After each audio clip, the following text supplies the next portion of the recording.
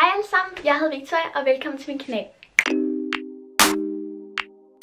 I den her video, så kan jeg godt tænke mig at fortælle omkring nogle Instagram tips, øh, men det bliver ikke sådan noget som, at hvis du går ind på det her og det her, så kan du gøre det her og det her. Det bliver sådan nogle tips til at forbedre din profil. Hvis du ikke allerede må følge mig på Instagram, så må du rigtig gerne gøre det. Øh, den står hernede i beskrivelsesboksen, og så kommer det også til at stå her på skærmen. Øh, men i hvert fald, jeg har omkring lidt over 1000 følgere på min Instagram, og det er nok ikke særlig meget i forhold til nogle andre profiler, øh, men jeg synes i hvert fald, at det er meget i forhold til bare, at det bare er mig, som har den. Øhm, og så spurgte jeg på min historie på Instagram, om I kunne tænke jer nogle tips. Og der var en del, som skrev, at det ville de gerne.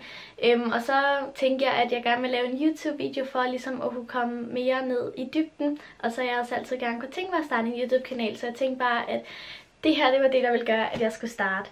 Så jeg har skrevet en hel masse tips ned, men øh, hvis jeg puttede dem alle sammen ind i en video, så ville det blive, så ville det blive alt, alt for langt. Så nu tager jeg i hvert fald bare nogle tilfældige tips, og, øhm, og de kommer bare i tilfældig rækkefølge.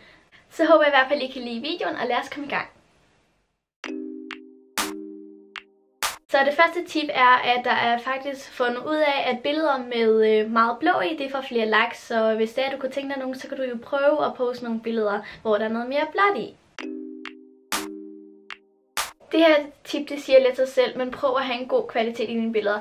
Det betyder slet, slet ikke, at du har behov for at gå ud og købe et kamera, hvis du ikke har et. Du kan selvfølgelig bruge det, hvis du har. Øh, men bare at prøve at have en god kvalitet. For eksempel, jeg ved, at iPhone-kameraer, de tager i hvert fald gode billeder. Men bare på den måde, at det ikke er sløret, eller det ikke er for grønnet. Så prøv i hvert fald at have en god kvalitet på dine billeder. Ikke nødvendigvis, hvad det er taget med, men bare, at det ikke er sløret og grønnet og sådan noget. Som I nok ved, så kan man i hvert fald på Instagram, nu kan man zoome ligesom ud på billedet, når du skal lægge det op, så at du ikke behøves, og før der skulle man bruge en app for at få de der hvide kanter på, hvis du vil have et helt billede med, som ikke var firkantet, øh, men det kan man jo Så hvis du gerne vil have, at der er flere, der skal lægge mærke til det billede, forhåbentligvis også like det, så prøv at poste på den her måde, i stedet for den her måde. På den måde så er der flere folk, der vil lægge mærke til det billede, da det fylder mere, når man kører igennem det, og så vil de forhåbentligvis også like det. Så det her tip det er måske mere til sådan, hvis du har en profil, hvor du lægger billeder op. I kender nok alle det der med, i hvert fald hvis man har en fotoprofil, hvor man bare ingen idé har til, hvad man skal tage et billede af. Og så jeg har fundet på et par tips, eller fundet på fundet på. Øhm, følg nogle inspirerende profiler, hvis du har et farverigt tema ligesom mig, så følg nogle farverige profiler. Hvis du har en hvid profil, så følg nogle hvide profiler, og hvis du har en bestemt farvet profil, så følg den farveprofiler. Altså find billeder, hvor de har sådan nogenlunde samme billeder som dig, eller samme billedstil, og så kan du altid blive inspireret af dem. En anden måde at få øh, billedinspiration, det er appen Pinterest. Øh, hvis du ikke allerede kender den, så er det egentlig bare en app, hvor du kan søge på alle mulige ting, og så vil det komme frem med en hel masse idéer. Så hvis du mangler nogle billeder, så kan du altid søge på den slags billede, du godt kunne tænke dig, og så vil den komme frem med en hel masse idéer, og så kan du altid få inspiration for dem. Så vil jeg gerne fortælle om nogle rigtig gode apps, eller det er i hvert fald nogle, som jeg selv bruger, som jeg synes, der er gode. Øhm, den første, den hedder Honor.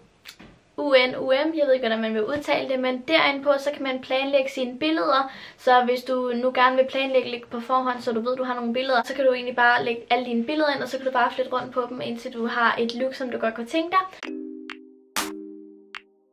En stor del af Instagram det er selvfølgelig også at redigere sine billeder, så de lige bliver den lille tak pænere. øhm, og en af de apps, som jeg personligt bruger, og det er helt klart min yndlings, det er Viscocam eller VSCOcam, jeg ved ikke, hvordan det skal udtales heller. Øh, men i hvert fald, der kan du redigere dine billeder, og du kan putte filtre på og alt sådan noget, og den app, den synes jeg i hvert fald er mega god til redigering. Når man lægger et billede op på Instagram, så vil man selvfølgelig gerne have nogle likes. Og man kan lægge det flotteste, flotteste, flotteste, flotteste billede ud. Men hvis der ikke er nogen aktive, så er chancen for, at du får mange likes, den er ikke særlig stor. Derfor så er det rigtig vigtigt at finde ud af, hvornår lige præcis dine følgere er aktive. Og det er selvfølgelig forskelligt fra profil til profil. Den app, jeg bruger til at se, hvornår mine bedste tidspunkter er, det er også Anom, som jeg også snakkede om før. Og der er et ikon, som ser sådan her ud. Og hvis du trykker på det, så kan du gå ind, og så kan du finde ud af dine bedste tidspunkter. Den har så beregnet, hvornår at det er bedst for dig at poste dine billeder. Den har baseret det på likes og kommentarer. En anden måde at få rigtig mange likes på, det er ved at bruge hashtags. Øhm, og jeg synes, det virker som om folk er sådan lidt, ad hashtags, det er, det er lamt at bruge. Det synes jeg på ingen måde, det er. Hashtags er jo egentlig på en måde bare sådan et genvej til lige præcis dit billede, så folk, hvis de søger på det her hashtag, så kan dit billede komme poppende op på deres skærm. Hashtag skal desværre også godt bare se en lille smule rodet ud. Så det, du kunne gøre, det er, at du skriver det, du ellers ville have skrevet til billedet, og så i en ny kommentar, så kan du skrive alle de der hashtags. På den måde, så vil det ikke se så rodet ud, men folk vil stadig kunne finde en billede under de her hashtags. Så håber jeg rigtig meget, at I kunne lide den her video, og I har nydt den, og I har fået noget ud af den. Og hvis I har, så må I rigtig gerne give den en like. Så må I selvfølgelig gerne abonnere på min kanal, og øhm, så må I selvfølgelig også gerne lige følge mig på Instagram. Det kommer igen til at stå her på skærmen, og så står det også nede i beskrivelsesboksen. Og så håber jeg egentlig bare, at vi ses i min næste video. Hej hej!